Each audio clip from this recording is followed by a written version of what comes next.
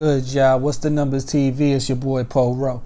Make sure you subscribe to the channel if you're not subscribed already. And like a video if you appreciate the content that Paul Rowe and What's the Numbers I provided. Today we back with another profile piece. This one is on Mr. Ruggs, real name Darryl McKinney. In this video we're going to take a look at his early life growing up in Brooklyn, New York, where he was known to be one of the younger members of the rapper's Fabolous Street Fam crew. Next, we will look at Ruggs' move to Atlanta, where after a few years of settling in, He'll become one of the main faces in the Atlanta nightlife and club promotion scene. And lastly, we will look at what Ruggs has going on currently, business and lifestyle wise. Mr. Ruggs, real name Darryl McKinney, is from Brooklyn, New York, and is the youngest of three brothers. Growing up, he would usually be one of the youngest kids hanging out with the older guys in the neighborhood. As he became a teenager, he would be in adult clubs with older Brooklyn guys like Don Quan and Young Gav. Eventually, Ruggs would become a part of the rapper's Fabolous crew, which was called Street Fam, a group of mostly Brooklyn guys from the Brevoort projects and surrounding areas that would travel with the rapper to New York City clubs and out of state shows. Street Fam would make headlines in New York City hip hop circles for years, with rumors of them being a sticker crew that would catch unsuspected athletes and entertainers and rob them while out partying at different nightclubs in the city. In fact, Ruggs' oldest brother, Shamel McKinney, and also a member of Street Fam, would lose his life in November 2007 after being stabbed outside a club in an incident with another guy over a chain being snatched. After years of living in Brooklyn, Ruggs decided to take his talents to Atlanta, Georgia, which in the 2000s has been a hotbed and has a legendary party scene. Fabolous and the Street Fam have deep ties to ATL, as they've been going down there for extended periods of time his whole career, and especially during the BMF era. The level up in Atlanta wasn't overnight for Ruggs, as it took some time for him to find his way. But eventually he would start promoting parties and clubs, building his name up enough throughout the city to start throwing an annual black party, which was attended by heavy hitters from all over.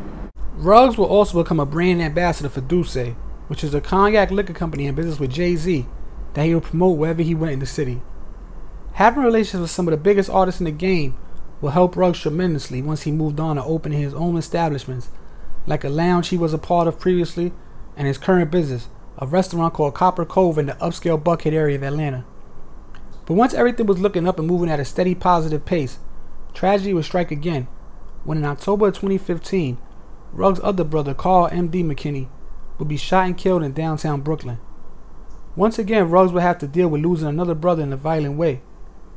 But Ruggs, rather than folding or breaking, he would use the situation as motivation to continue moving forward and putting on for his brothers in the process. Everyone has a past, and Ruggs acknowledges that.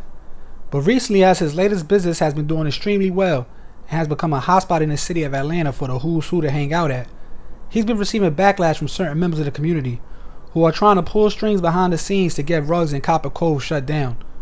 But the people in the city love Ruggs, and it looks like he's here to stay. But yo, it's What's the Numbers TV. There's a quick profile piece on Ruggs, Mr. Ruggs on Instagram. Like I said, I'm gonna start doing some profile pieces on people that's alive doing that thing right now. So if you want to go tune into what they got going on, you go follow them on Instagram and be firsthand of what they got going on as far as like now and in the future. And one more thing I want to touch on is the whole thing about you know, Ruggs acknowledged that he has a past. You know what I'm saying? It might not be the cleanest past. It might not be the dirtiest past, but he has a past like a lot of people do.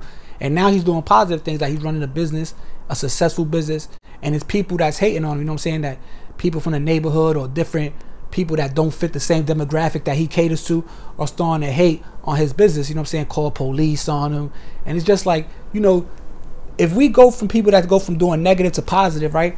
And we continue to let people attack them and bring them down, then it's like we're never going to get that positive side of the person because when they do try to make that change, we're getting everything trying to push them back towards the negative. So that's why I wanted to do a profile piece on Ruggs, you know what I'm saying? Because he is out there doing his thing regardless of whatever he's been a part of, even though he, he might not have been a part of nothing. It might just be all hearsay.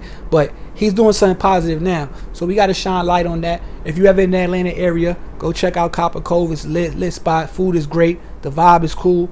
And you know what I'm saying? You might run across your favorite rapper or entertainer or ball player, son, or video vixen, something like that while you're there in the meantime. So I just want to touch on that real quick. Like I said, it's a quick profile piece. Also, I got the membership Anybody want to join, become a member, What's the Numbers TV. I got the email for any business, and I also got the merch if you want to support. But like I said, man, this is What's the Numbers TV. We appreciate y'all. Like I said, we back to work. We appreciate all you guys that been supporting from the beginning. And we about to start flooding the net again. But it's What's the Numbers TV. It's your boy Paul Rowe. We out of here. Peace.